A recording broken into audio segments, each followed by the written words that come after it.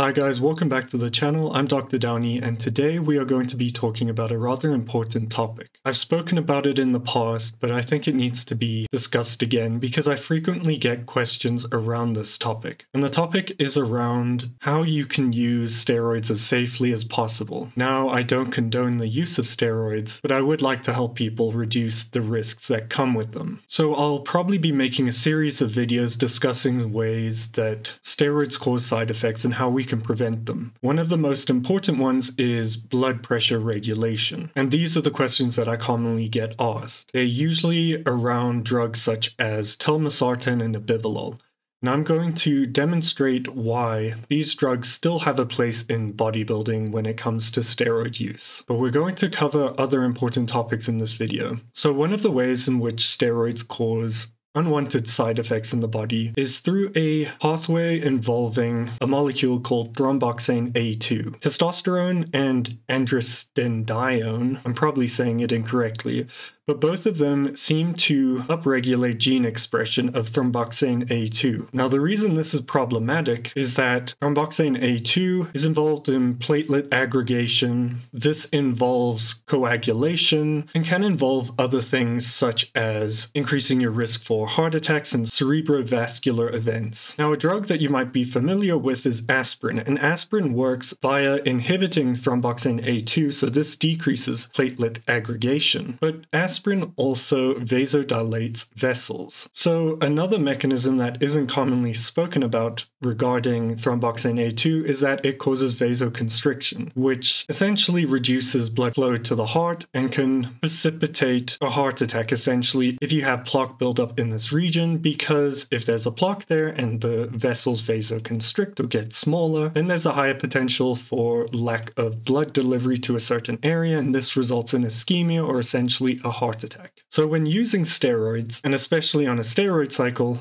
I think one should consider the use of something like baby aspirin. Whilst it is commonly prescribed after you have a heart attack or a stroke, I think in the case of steroid use, where there have been demonstrated increased events of heart attacks and strokes, although the mechanism isn't really sure, I think this could be a potential way to decrease these risks. Now, moving on to one of the most important parts, and that is testosterone and its effect on blood pressure. And this has to do with testosterone's effect on the RAAS system. I'll display an image, but essentially, this is the renin, angiotensin, and aldosterone testosterone system. And what has been demonstrated with the use of testosterone is that it increases angiotensin 2 levels. And it's postulated it does this via increasing renin expression. And renin, as we see on this pathway, is responsible for converting a molecule called angiotensinogen, which is produced by the liver, to angiotensin 1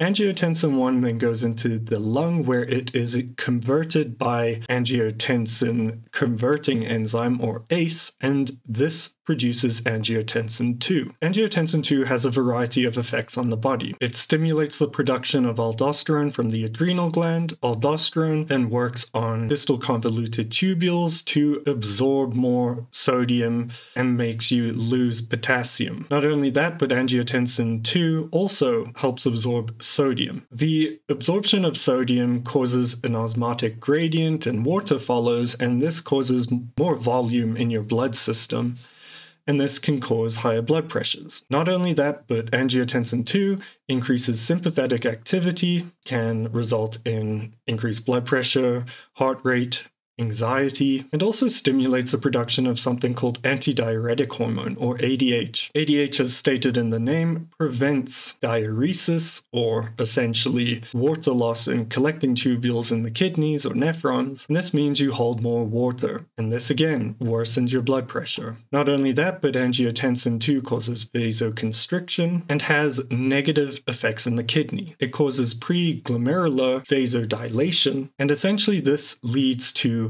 higher pressures in the glomerulus, and this can precipitate damage to the kidney. What we have seen in the cases of steroid use is that FSGS or focal segmental glomerular sclerosis seems to be a bigger issue. And essentially, this forms one of the causes of kidney disease and can lead to chronic kidney disease. So, kidney disease is seen in those using steroids, and I think the pathway to it is via this mechanism. Logically, we want to decrease the levels of angiotensin 2, and there are two mechanisms in which we can do this. We can either block the ACE enzyme, and that's what ACE inhibitors do, so angiotensin 1 is not converted to angiotensin 2. This includes drugs like captopril, enalapril, lisinopril, and they result in decreases in blood pressure via this mechanism. Or we can reduce the angiotensin receptor stimulation, and this is via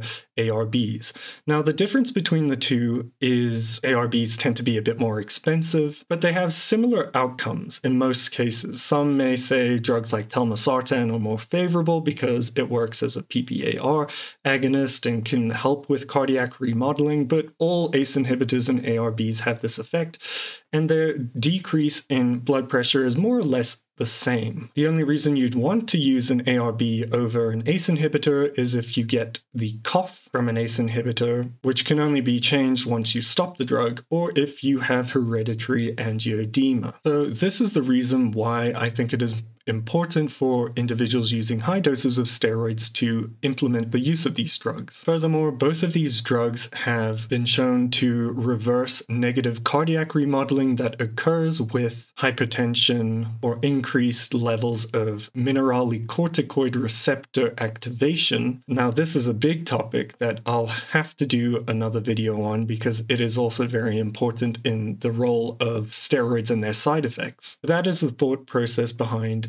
ACE inhibitors and ARBs. Not only that, they are also renoprotective, which means that they assist in decreasing damage done to the kidneys, and in a lot of cases can slow down the progression of chronic kidney disease. So then we get on to a drug like nebivolol. Now, I spoke in a recent video about another cardioselective beta blocker that is carvedilol, and the reason why these are quite useful in terms of steroid use is because they they help with cardiac contractility and have been demonstrated to assist in increasing ejection fractions and reducing negative cardiac remodeling. Not only that, but they reduce the sympathetic response that your body has to steroids. And whilst the sympathetic response is necessary, around the context of exercise, if that response stays elevated for too long, you run into issues such as a high basal heart rate, which could cause something like a fatal arrhythmia or tachycardia induced cardiomyopathy, which I've spoken about in another video.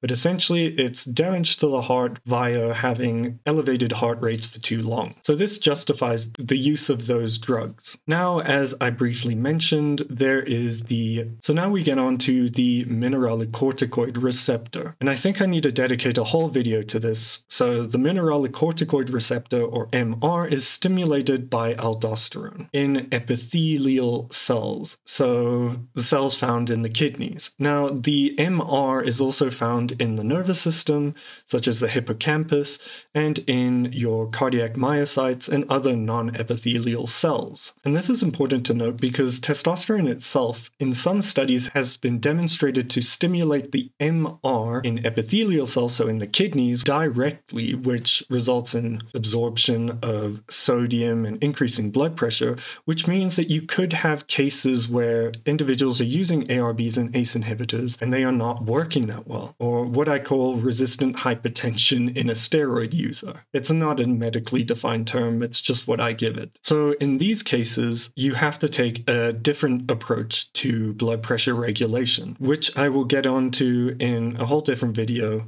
because it's a complicated subject. But that's just for you to know that in some cases, these drugs don't work in reducing blood pressure. But in studies we do have where rats who had high blood pressure as a result of higher testosterone levels compared to those with hypertension or high blood pressure as a result of other mechanisms had a 60% reduction in their blood pressure levels as compared to a 40% reduction in blood pressure levels in those who had high blood pressure as a result of a different mechanism. This would show that ARBs or ACE inhibitors are quite effective in reducing blood pressure response to testosterone, whilst it's not 100% effective. But let's summarize what we've spoken about. Testosterone increases a molecule called thromboxane A2, and this can be inhibited by the use of something like baby aspirin. Testosterone also increases angiotensin 2, which results in higher blood pressures as a result of vasoconstriction, increased sympathetic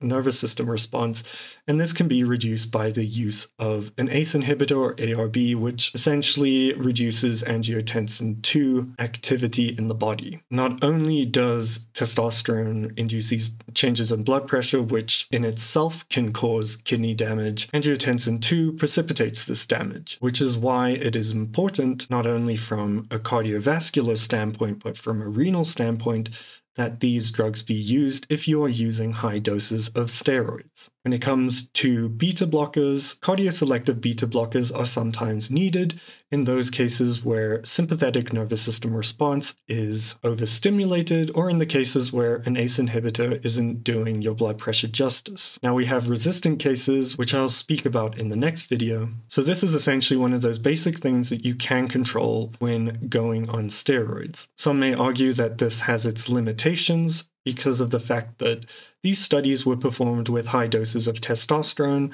as opposed to other androgens, but what we've seen in the majority of cases is that any androgen receptor stimulation seems to increase angiotensin 2, and we don't know why at this point. Some may ask, do I need this in the case of TRT? In some cases, you might. Studies in TRT at doses of 75 to 100 to 200 weekly have demonstrated rises in blood pressure. Now, whether or not this is, significant will depend on the individual and their risk factors. So, what if I don't have increased blood pressure when using steroids? Is there a reason to use these drugs? Right now, we don't have much data to suggest whether or not you should use it. Logically, one would assume you wouldn't need to. But the only thing that concerns me is a fairly small study that I referenced in a previous video that showed that these certain individuals had high levels levels of angiotensin 2 and high blood pressure. They had left ventricular hypertrophy as a result of the high blood pressure.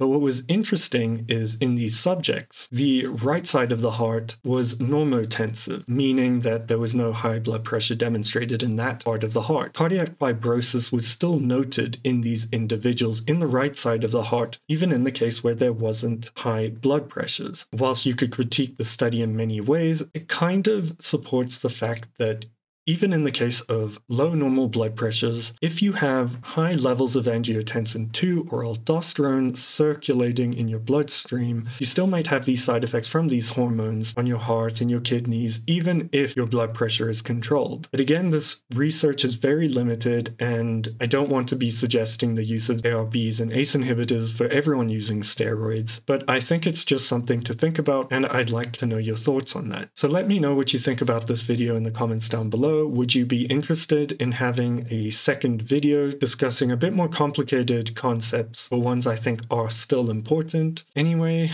I will see you guys in the next video. Thank you for watching.